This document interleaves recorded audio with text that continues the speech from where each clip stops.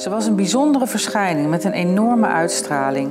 Waar zij ook kwam, met haar tengere, meisjesachtige gestalte en opvallende vogelkop, was ze altijd het middelpunt van het gezelschap. Door de vele wonderlijke tegenstrijdigheden die ze in zich verenigde en de sterk uiteenlopende werelden die ze vertegenwoordigde, bleef ze een raadselachtig wezen waar niemand snel op uitgekeken raakte.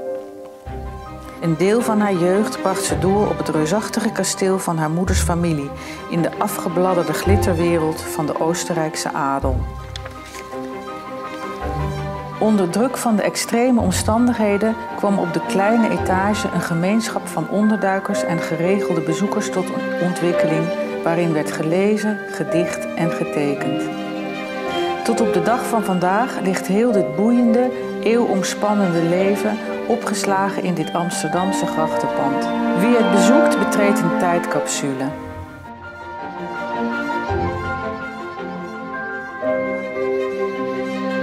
Giselle had het verschijnen van deze biografie uh, vreselijk gevonden. Daar heb ik geen enkele illusie over. Het is zelfs de eerste zin waarmee ik het boek begin.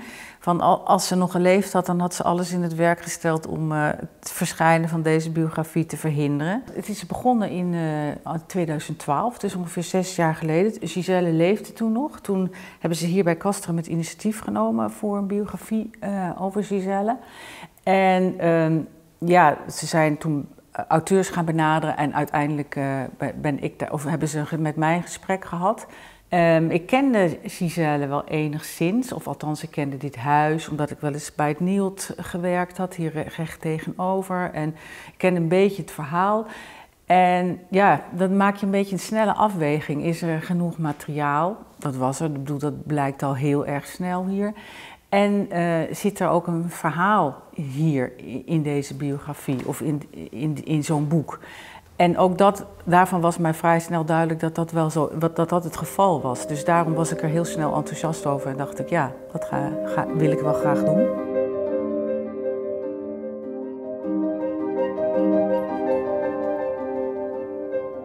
Hier aan de Herengracht ligt, ligt, een, ligt een enorm archief, uh, wat uh, vooral door Giselle zelf tot stand is gekomen. Zij bewaarde vrijwel alles. Dus het is ook een archief wat bijna onhandelbaar groot is. Er zit ook heel veel in wat op geen enkele manier bruikbaar is, vooral van de latere jaren. Allerlei dingen heeft ze bewaard. Uh, maar ze heeft heel veel brieven bewaard. Dat, nou ja, dat is iets geweldigs. Ik bedoel, de correspondentiearchief is heel groot en was voor mij echt uh, nou ja, een goudmijn. En ze heeft ook nog wel van bepaalde fases in haar leven zijn er ook wel wat dagboeken bewaard gebleven. Dus dat is dat, dat tezamen, dat vormde eigenlijk uh, mijn basismateriaal.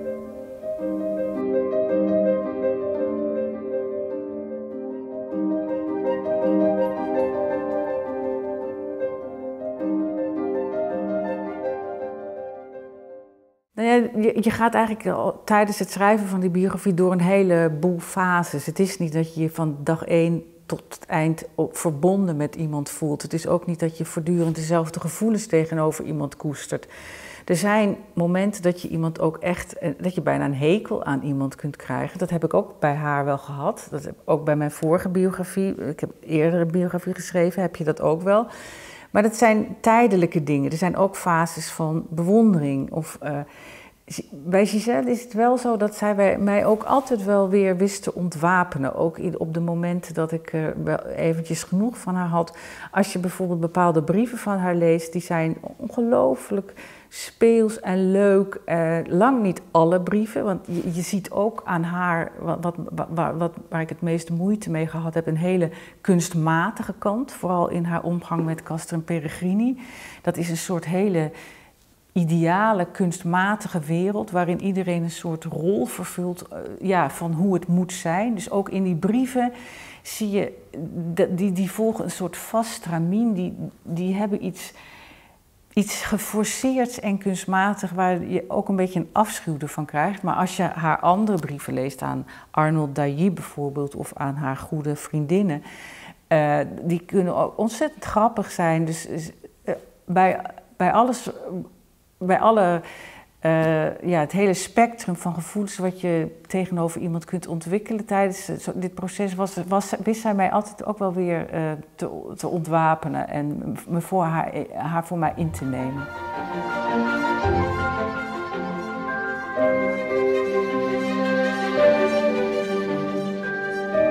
Giselle was de dochter van een Oostenrijkse barones en een uh, Amsterdamse patriciër, heel katholiek gezin, waarin stand en geloof ehm, ja, de, de, vormende begrippen waren. Haar gezinsmilieu wordt door, die twee, door haar afkomst en haar geloof echt bepaald.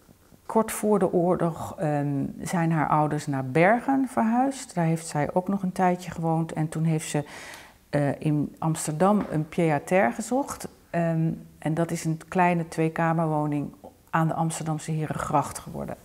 En dat is eigenlijk waar nou ja, haar uh, bekendste deel van haar geschiedenis begint. Want in die, op die kleine etage heeft zij de Duitse dichter Wolfgang Frommel en twee van zijn uh, jonge Joodse volgelingen in huis opgenomen. En die, die, twee jongens hebben hier ondergedoken gezeten. En dat is een, een oorlogsgemeenschap geworden die onder de naam Castrum Peregrini ook is verder gegaan. Dat is de de naam die zij in de oorlog gebruikte voor deze schuilplaats. En daar is later een vriendengroep, een uitgevershuis en een tijdschrift uit voortgekomen. Allemaal onder de naam Castrum Peregrini. En zij heeft hier tot haar uh, dood uh, in datzelfde pand, wat ze na de oorlog in zijn geheel had weten te bemachtigen, uh, blijven wonen.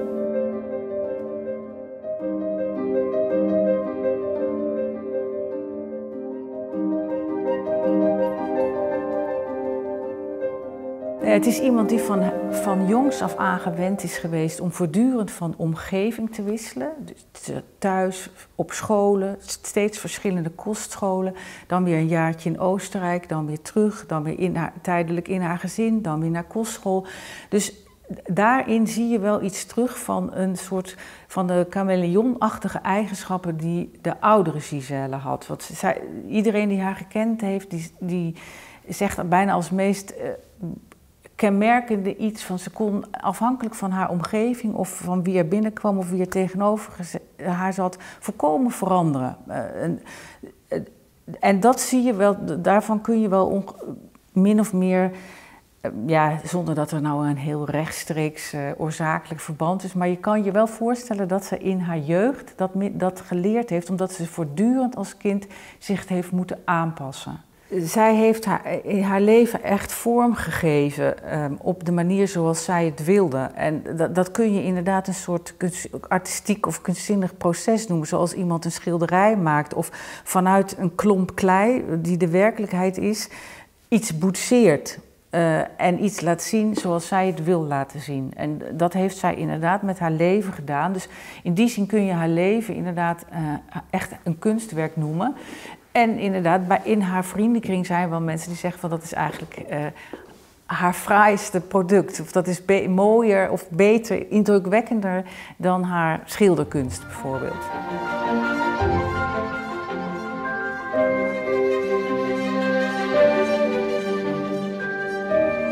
Castum Peregrini is een groep die ontstaan is um, in de onderdakperiode hier aan de Herengracht. Um, uh, de dichter Wolfgang Frommel, eh, die was in die eind jaren 30 uh, in Nederland verzeild geraakt. En um, dat was iemand die sterk geïnspireerd was door de uh, Duitse dichter Stefan George. En in navolging en geïnspireerd door hem is hij zelf ook begonnen een eigen groep te vormen. Dus volgelingen te werven onder jonge jongens, dus rond de 15 of tussen de 14 en de 18 ongeveer. Dat was een beetje de leeftijd waarin hij probeerde te, uh, zijn volgelingen te recruteren.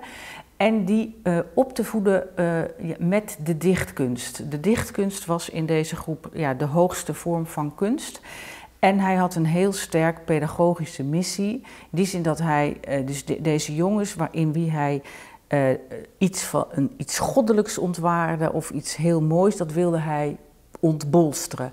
En hij is dus, dus, zo in staat geweest om een eigen groep te creëren. Dat is dus hier in de oorlog begonnen met die twee onderduikers, maar er kwamen een heleboel anderen ook hier over de vloer. Dat heeft toen de naam Castrum Peregrini gekregen. Dat is na de oorlog, vanaf de jaren, het is na de oorlog eventjes ingezakt, maar vanaf de jaren 50 is hij hier weer komen wonen en is dat doorgegaan. En is dat een soort woongemeenschap, leefgewoonschap, grote vriendengroep geworden, die, eh, waar, waarvan dit, laat ik zeggen, het hoofdkwartier was. En zo eh, werd die groep, ja, die is eigenlijk tot zijn dood bijeengebleven.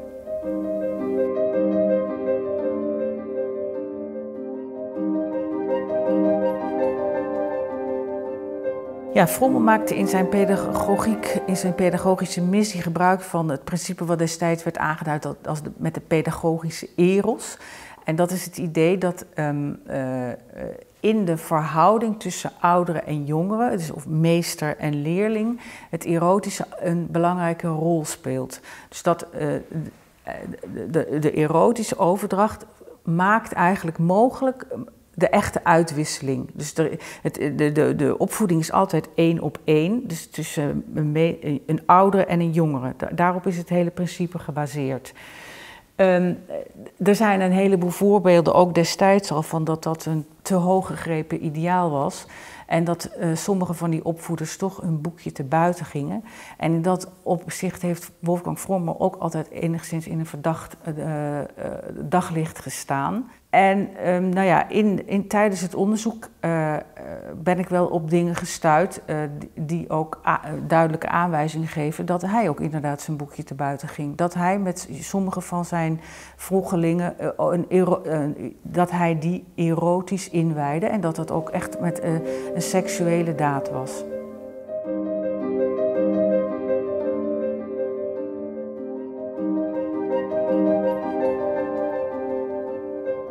Giselle speelde een hele aparte rol uh, binnen de gemeenschap van Castum Peregrini. Je kunt dat ook niet, net zoals je haar persoon niet in enkele eigenschappen kunt vatten, kun je ook haar rol binnen Castrum niet heel erg vastpinnen. Die is heel dubbelzinnig. Uh, ze is altijd uh, onmisbaar geweest, omdat ze de huisvesting uh, verzorgde tijdens de oorlog, omdat ze later uh, het alles financieel heeft mogelijk gemaakt. Dus zonder haar was het niet mogelijk geweest. Dus ze was onmisbaar.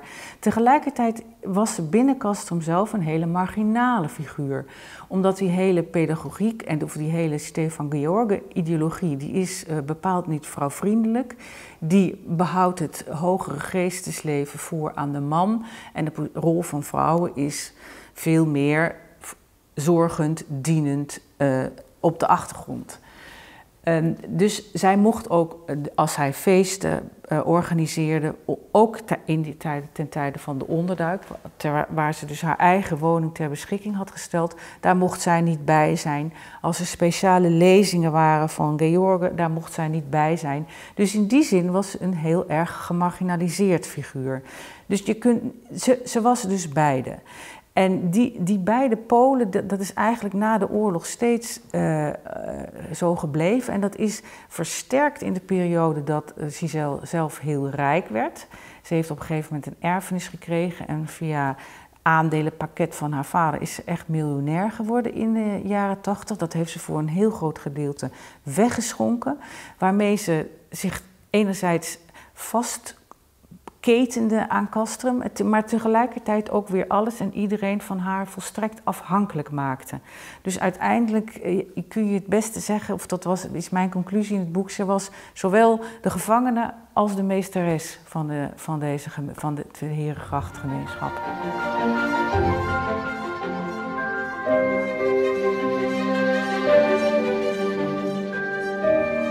Huidige kastgeleiding heeft uit het verleden bepaalde dingen geselecteerd eigenlijk waarop zij op verder zijn, zijn uh, gaan borduren.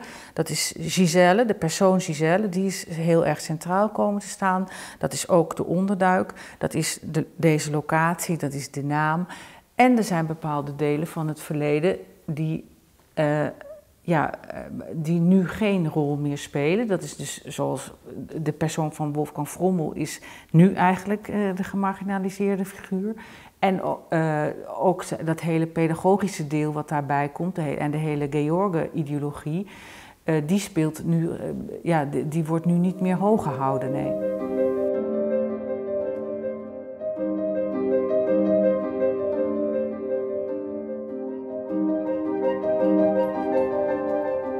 Ik denk niet dat er één manier is waarop je Giselle zou moeten herinneren. Juist omdat zij, wat ik eerder al zei, zo'n ontzettend gelaagd en veelkantig eh, personage is geweest.